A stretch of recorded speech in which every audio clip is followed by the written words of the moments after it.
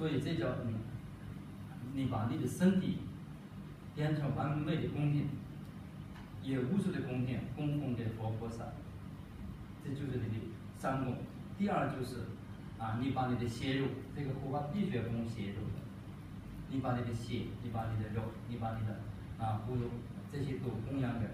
啊一级佛母、当真然阿那这些等等所有的护持你的呃佛呃佛法，护持你的宗教，护持你的忠诚，护持你的修行啊，去去除消除你的障碍的护法叫护法，所以供奉给他，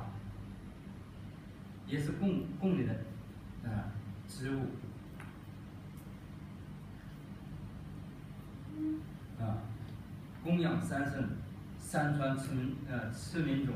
啊，这是什么呀？供养的三圣呢？三圣就是法圣、八圣、八圣，每一个佛有一个法圣，每一个佛有一个法圣，每一个佛有一个啊法圣，这叫三圣，